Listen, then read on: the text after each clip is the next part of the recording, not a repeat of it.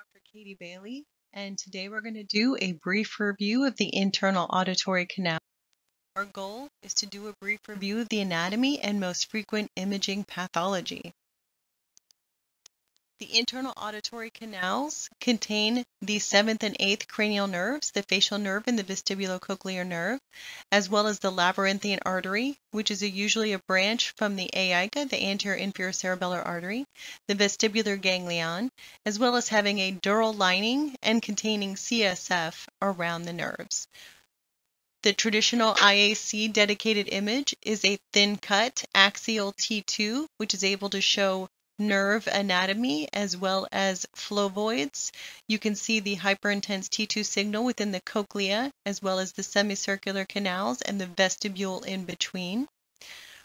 We do pre and post contrast T1 weighted imaging as there should be no enhancement of the structures within the internal auditory canal.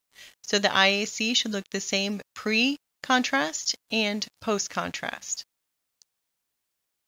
For the nerves in the internal auditory canal, the mnemonic that I learned was 7 up, coke down. So this is the anterior aspect of the IAC on a sagittal view. You have the facial nerve superiorly and the cochlear nerve inferiorly. Posteriorly, so just look for the cerebellum to orient yourself, you have the superior and inferior vestibular nerves. This is something that likes to be tested on exam situations for radiology residents. A disease process you can get within the IAC is called a vascular loop syndrome. This can be microvascular compression of the nerves in the IAC that can result in tinnitus, vertigo, and hemifacial spasm if there is compression of the facial nerve. You can also get a vascular loop syndrome, which is related to a prominent loop of the AICA, possibly the labyrinthine artery, that enters the IAC and causes nerve compression.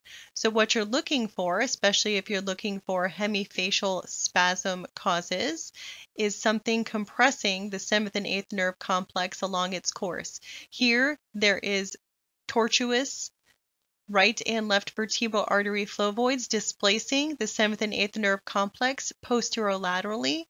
And here's a more superior one showing them that the vertebral arteries joining to form the basilar artery. So the normal seventh and eighth nerve complex to be extending laterally like the, it is here. This one is displaced and this person had right hemifacial spasm what you can see in terms of IAC vascular loop is you're looking for a vessel touching the seventh and eighth nerve complex within the IAC. And when you see this vascular loop, you can describe is it touching it superiorly, medially, inferiorly, laterally? Is it touching it within the IAC? Is it touching it within the cisternal portion?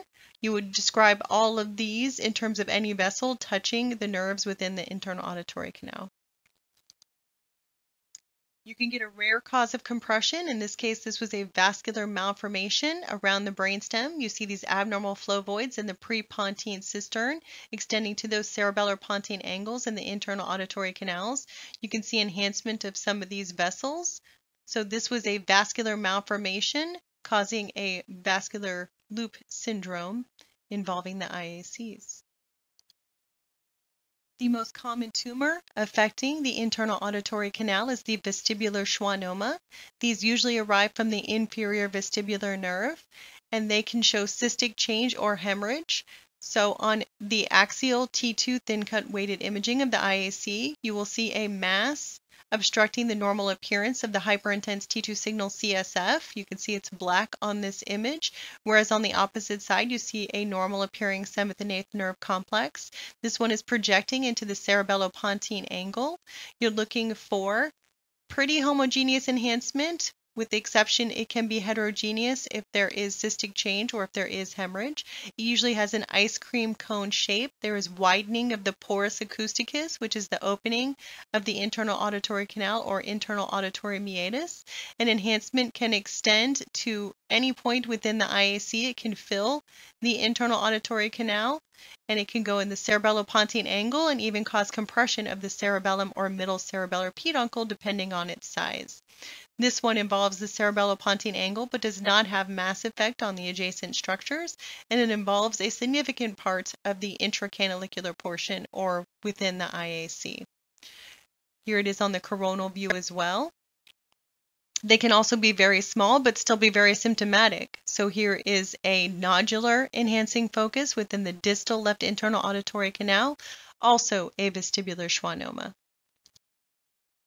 The second most common pathology at the cerebellopontine angle is the CP angle meningioma.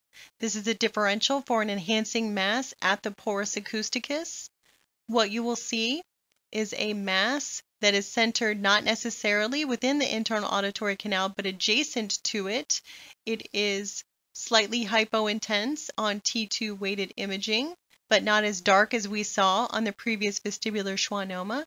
You can also get homogeneous or slightly heterogeneous enhancement, but you'd like to see that dural tail sign or at least some degree of adjacent dural enhancement, whereas the vestibular schwannoma should be a self-contained mass.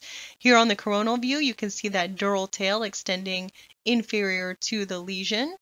So look for that dural tail and look for center of the lesion outside the IAC along the dura. The third most common lesion at the cerebellopontine angle is the epidermoid. This can look cystic and subtle on T2, just look like more of a prominent extraaxial CSF space with some mass effect, but can be more heterogeneous on FLAIR. And on these thin cut T2 weighted images of the IAC, you can see there's more heterogeneous signal rather than homogeneous hyperintensity on T2. There can be some peripheral enhancement, but there is usually not much, if any, enhancement within the lesion. But the key is that DWI, there is restricted diffusion within an epidermoid. So an arachnoid cyst would be hyperintense on T2 but not show restricted diffusion. So this sequence is what differentiates that arachnoid cyst from an epidermoid. Bell palsy is another indication for IAC imaging. This is idiopathic peripheral facial paralysis. What you expect to see is uniform linear enhancement within the IAC, not nodular enhancement. So here's an example of a patient that presented with left side Bell's palsy. There is linear enhancement in the distal internal auditory canal extending towards that geniculate ganglion. Now, the geniculate ganglion and the mastoid segments of the facial nerve do normally enhance. The IAC component should never enhance. So if you see enhancement within the IAC, always consider it abnormal. So here's a normal side, no enhancement. Here's that linear enhancement of the distal IAC going towards that geniculate ganglion. That is what you see for Bell palsy. And here is another case, but on the opposite side. So linear enhancement in that IAC, and you can see the enhancement extending to that geniculate ganglion, that nice triangle shape right here. So that is also a case of imaging findings positive in Bell palsy red flags in IAC images when you see nodular enhancement or you see multiple cranial nerves enhancing. So when you have those findings, in this case, you see nodular enhancement in that right internal auditory canal. But when you examine the other cranial nerves, you see nodular enhancement of that right trigeminal nerve and partial nodular enhancement of that left trigeminal nerve heading towards Meckel cave.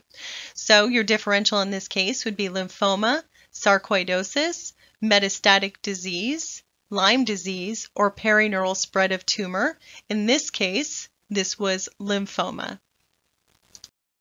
Thank you for your attention.